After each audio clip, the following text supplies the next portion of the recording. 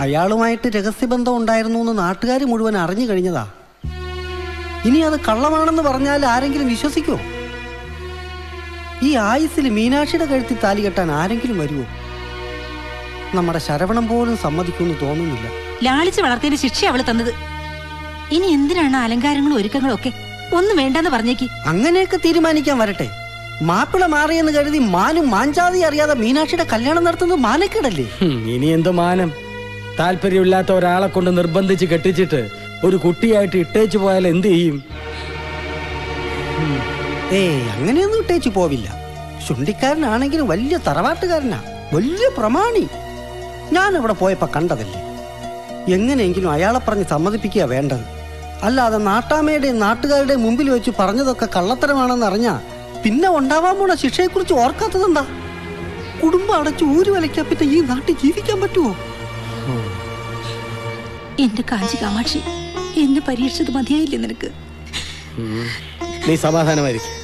ഞാൻ ഒരു വഴി ആലോചിക്കട്ടെ. ഇനി ഞാൻ നോക്കിയിട്ട് ഒരു വഴിയേ ഉള്ളൂ. എന്ത് വഴി? അതാണ് നമ്മൾ കണ്ടുപിടിക്കേണ്ടത്. എന്തായി? ആകെ പ്രശ്നമായി. പടച്ചോനെ ഞങ്ങൾ പറഞ്ഞിട്ടാണ് അവനെ ചൂണ്ടിക്കാണിച്ചു കൊടുത്തെന്ന് പറഞ്ഞു? അതല്ല. പിന്നെ? അമ്മയുടെ മാമന്റെ മുമ്പിൽ വെച്ച് ഞാൻ പറഞ്ഞതൊക്കെ കള്ളക്കഥയാണെന്നും ഞങ്ങൾ തമ്മിൽ ഒരു ബന്ധമില്ലാന്ന് പറഞ്ഞിട്ട് ഇറങ്ങിപ്പോയി. അമ്മയുടെ കയ്യിൽ നിന്ന് കണക്കിനൊരെണ്ണം കിട്ടുകയും ചെയ്തു. നന്നായി. ഇനിയിപ്പോ എന്താ ചെയ്യാ? ഞങ്ങളടുത്താണോ ചോദിക്കുന്നത്? പിന്നല്ലാതെ നിങ്ങൾ പറഞ്ഞിട്ടല്ലേ ഞാൻ ഇതെല്ലാം ചെയ്തത് എന്ന് പറഞ്ഞാൽ ശരവണന്റെയും മാരിയപ്പന്റെയും നിന്ന് രക്ഷപ്പെടാൻ എന്തെങ്കിലും ഒരു വഴി പറഞ്ഞു തരണമെന്ന് മീനാക്ഷി പറഞ്ഞിട്ടല്ലേ ഞങ്ങൾ?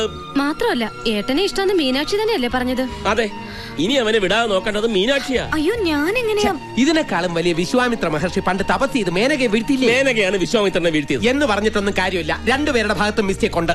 ആരാരെ വീഴ്ത്തി എന്നുള്ളതല്ല ഇവിടുത്തെ വിഷയം. വീണോ? അവർക്കൊരു കുട്ടിയുമായി. അതുകൊണ്ടാണ് ഞാൻ പറയുന്നത് മീനാക്ഷിയെ പോലെ ഒരു കാഞ്ചീപുരം പട്ടുസാരി കുട്ടിക്ക് അച്യുതം കുട്ടിയെ ഈസി ആയിട്ട് വീഴ്ത്താൻ പറ്റും. ഏത് ഒറ്റക്കൊമ്പനെയും നിലക്കി നിർത്താൻ. ദേ ഇത്രയും പോകുന്ന ഒരു തോട്ടി മതി. ആ തോട്ടി വലിക്കുന്ന ഒരു പെണ്ണുകൂടി ആയാൽ പിന്നെ പറയാൻ വേണ്ട.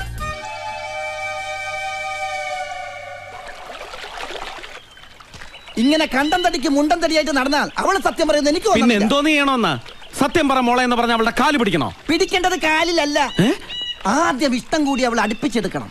പിന്നെ മെല്ലെ മെല്ലെ നെഞ്ചിനുള്ളിൽ തോന്നിയാസം പറഞ്ഞാലുണ്ടല്ലോ. നെഞ്ചിനുള്ളിൽ കയറി പറ്റണോന്നാ പറഞ്ഞത്. നെഞ്ചിനുള്ളിൽ അതെന്തിനാ? എന്നാലേ അവളുടെ ഉള്ളിലുള്ള സത്യങ്ങൾ ചോർത്തിയെടുക്കാൻ പറ്റുള്ളൂ. അങ്ങനെ ഇഷ്ടം കൂടാൻ വേറെ ആളെ തപ്പണം. ഇഷ്ടം കൂടണമെന്ന് പറഞ്ഞാൽ പ്രേമിക്കണമെന്നല്ല.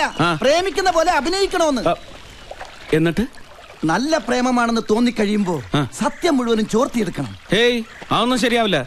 അവസാനം ശരിക്കുള്ള പ്രേമമായി പോയാലോ? അടിക്ക് ഞാൻ ചേട്ടനാ നോക്കില്ല. ഇതാണ് അച്ചുവേട്ടന്റെ കുഴപ്പം.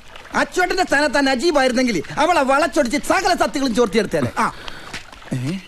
രണ്ട് തുടൻ റൊമാൻസ് എടുത്താ മുഖത്തൊന്ന് പൂശന്റെ അച്ചുവേട്ട. ആ.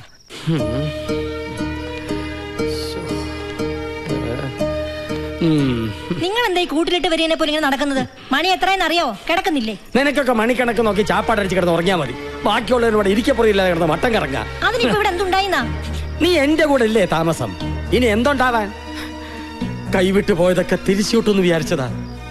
നിരപരാധിയാണെന്ന് പറഞ്ഞവൻ അവളുടെ കൂടെ അടിച്ചു പൊളിച്ച് നടക്കുക. നാളെ കൂടി കഴിഞ്ഞാൽ മൂന്നാം നാൾ കല്യാണം. അന്തിക്കൂട്ടിന് വന്നവൻ അമ്മയ്ക്ക് നായരായി എന്ന് പറഞ്ഞ പോലെ.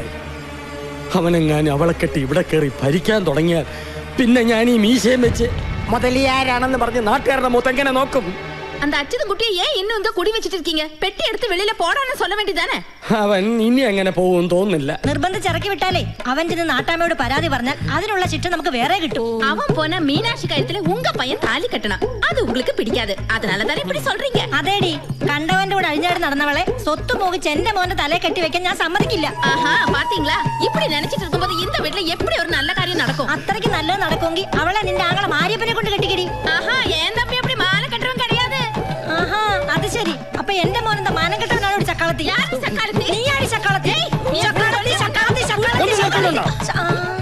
കിട്ടിയില്ലെങ്കിൽ അവളെ ഞാൻ കിട്ടും. മുറപ്രകാരം തായ് മാമനാണ് ഞാൻ. എനിക്ക് അവളെ കെട്ട.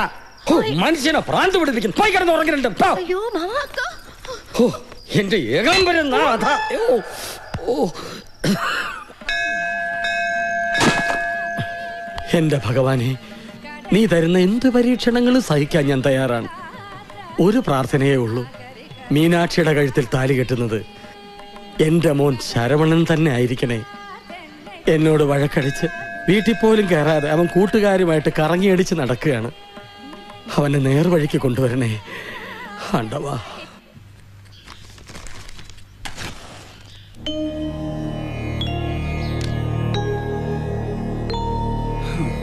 നാട്ടാമ പറഞ്ഞ തീർപ്പനുസരിച്ച് ഇന്ന് രാത്രിയോടെ ഏഴാം നാൾ പൂർത്തിയാകും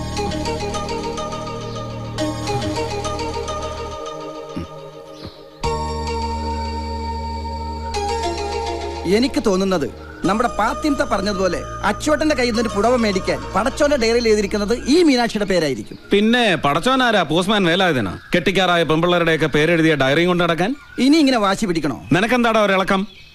ആ പാപ്പാത്തിയെ കണ്ടോണ്ട് മനസ്സിൽ എന്തെങ്കിലും വേണ്ടാതീനം കരുതിയിട്ടുണ്ടെങ്കിൽ. പാപ്പാത്തിയെ കുറിച്ചൊന്നും പറയരുത്. സത്യം പറഞ്ഞ ഞാനൊന്ന് അഴിക്കാൻ വേണ്ടി അവൾ എത്ര ദിവസമായി പറയുമ്പോ കറുപ്പെടുത്ത് നടക്കാൻ തുടങ്ങിയിട്ട്. അച്ചോട്ടനെ മാത്രം ഓർത്തിട്ടാ ഞാനത് അഴിക്കാതെ കൺട്രോൾ ചെയ്ത് കടിച്ചു പിടിച്ച് നടക്കണത്. എങ്ങനെ എങ്ങനെ? കറപ്പെടുത്ത്? പിന്നല്ലാതെ അത് അഴിച്ചാലല്ലേ അവൾക്ക് നാട്ടാമക്ക് പരാതി കൊടുത്ത് എന്നെ കൊണ്ട് താലി കെട്ടിക്കാൻ പറ്റുള്ളൂ? എടാ പോത്തെ തമിഴിൽ കറുപ്പ് എന്ന് പറഞ്ഞാൽ ചാരിത്രം എന്നാണ് അർത്ഥം. ചരിത്രം? ചരിത്രവും കോപ്പൊന്നുമല്ല എടാ ഈ പെണ്ണുങ്ങൾ കാത്തു സൂക്ഷിച്ചു കൊണ്ട് കിടക്കുന്ന ഒന്നില്ലേ? അത് അത് തന്നെ. അത് അഴിച്ചു എന്ന് പറഞ്ഞ ആ പെണ്ണിനെ നശിപ്പിച്ചു എന്നാണ് അർത്ഥം. എന്റെ അമ്മോ അപ്പൊ അച്ചുവട്ട ആ പെണ്ണിനെ നശിപ്പിച്ചു എന്നാണ് ആ പെണ്ണ് വിളിച്ചു കൂവിക്കൊണ്ട് നടക്കണത്? സത്യത്തിൽ അച്ചുവട്ടൻ അത് അഴിച്ചോ? ദേ ഒറ്റ തൊഴി വെച്ച് തന്നോണ്ടല്ലോ. അല്ല അന്ന് ആ. കട്ടിൽ വീണപ്പോ അറിയാതെ എങ്ങനെ അഴുകി പോയോന്ന് അറിയാൻ വേണ്ടി ചോദിച്ചു എടാ. അല്ല അങ്ങനെ അഴിച്ചിട്ടില്ലെങ്കിൽ അവളെ വെറുതെ വിട്ടാ പറ്റില്ല. പകരം വീട്ടണം. പകരം വീട്ടാനോ? അതെ അവളുടെ കഴുത്തിൽ താലി കെട്ടി കൂടെ പൊറപ്പിച്ച് പകരം വീട്ടണം. ആ എന്തോ? അല്ല പകരത്തിന് പകരം വീട്ടാനുള്ള വഴി പറഞ്ഞു തന്നതാ. ആ നിന്റെ വഴി ഉപദേശം ഒന്നും എനിക്ക് വേണ്ട. എന്താ ചെയ്യേണ്ടതെന്ന് എനിക്കറിയാം. ഉം? എന്ത് തീരുമാനിച്ചു? അവളെ കെട്ടാൻ തീരുമാനിച്ചു. ഏതായാലും നനഞ്ഞു. ഇനി കുളിച്ചു കയറ് തന്നെ. എന്നെ കുളിപ്പിച്ച് കിടത്തിയിട്ട് വേണോ ഒന്ന് എനിക്ക് കുളിച്ച് കയറാൻ? പിന്നെ അല്ലാതെ? ഇവിടം വിട്ട് ഓടാമെന്ന് വിചാരിച്ച ഈ കാഞ്ചീപുരം ബോർഡർ കടക്കാൻ നിങ്ങളുടെ നാട്ടാമേ നാട്ടുകാർ സമ്മതിക്കൂ.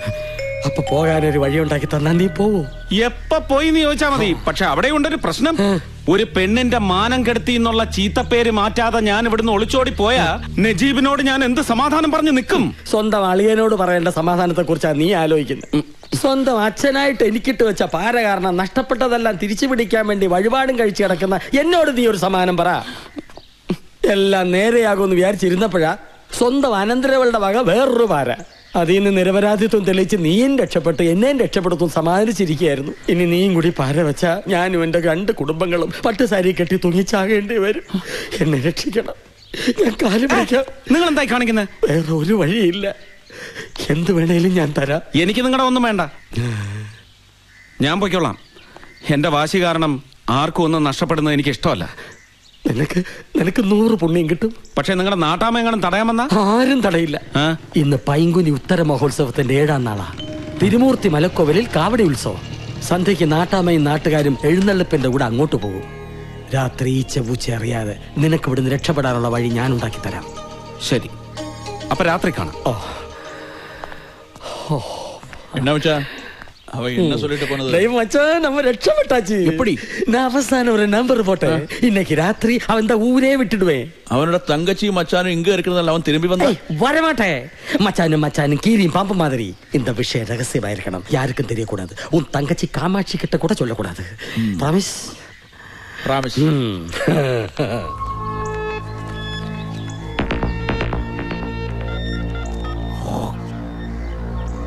முத்துப்பாண்டி அந்த அச்சுதன்குட்டி இன்னைக்கு ராத்திரி ஊரை விட்டு போக போறான் போனா எந்த காரணத்திலும் அவன் திரும்பி வரக்கூடாது. திரும்பி வர அவ இருக்கக்கூடாது.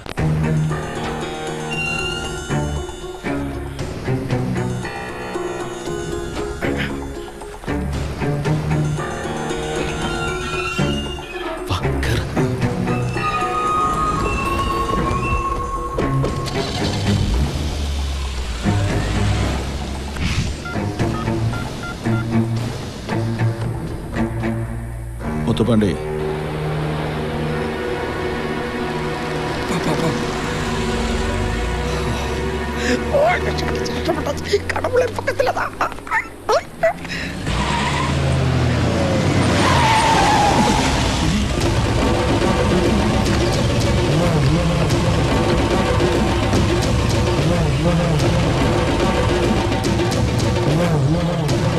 വേണ്ട അച്ചുവേട്ടാ ഇറങ്ങണ്ട. ഇവിടെ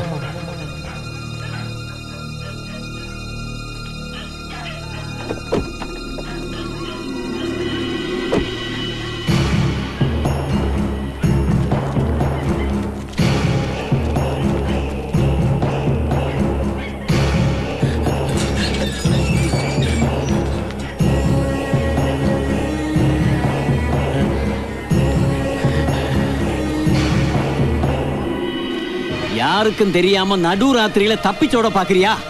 உசிரோட விட மாட்டேன். தெரியுமா?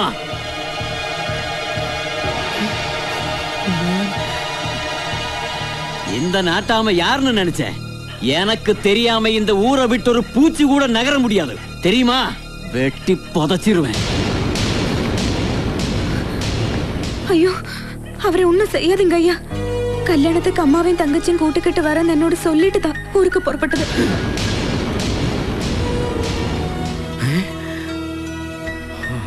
நீ சொல்றது உண்மையா? ஆமாங்க ஐயா தயவு செஞ்சு அவரை போக அனுமதி கொடுங்க.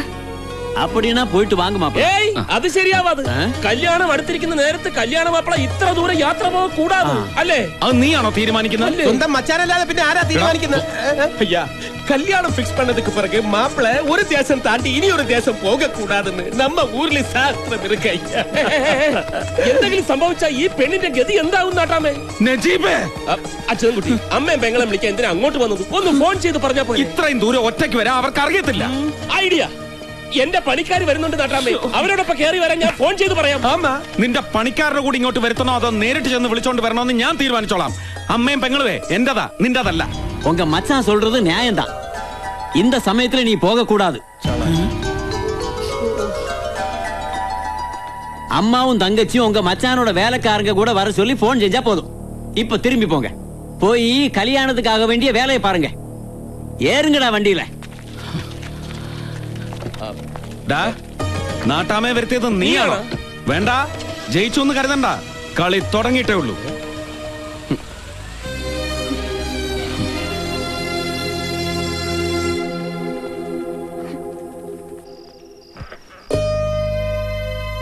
അച്ചുവേട്ടനോട് ആ പെണ്ണിനുള്ളത്. ആത്മാർത്ഥമായ സ്നേഹമാണെന്നുള്ളത് ഉറപ്പാ. അതുകൊണ്ട് അവൾ ആ സമയത്ത് അങ്ങനെ വന്ന് പറഞ്ഞത്. ഇല്ലെങ്കിൽ നാട്ടാമയുടെ ഗുണ്ടകൾ നമ്മളെ വെട്ടിക്കീറുമായിരുന്നില്ലേ? എന്താണ് ആലോചിക്കുന്നത് അല്ല മുതലിയാരുടെ ഒത്താശയോടെയാണ് നമ്മൾ ഇവിടെ നിന്ന് ഇത്രയും രഹസ്യമായി രക്ഷപ്പെടാൻ ശ്രമിച്ചത്. ഈ വിവരം നജീബ് എങ്ങനെ അറിഞ്ഞു? ഞാൻ പാപ്പാത്തിയോട് യാത്ര ചോദിച്ചിരുന്നു.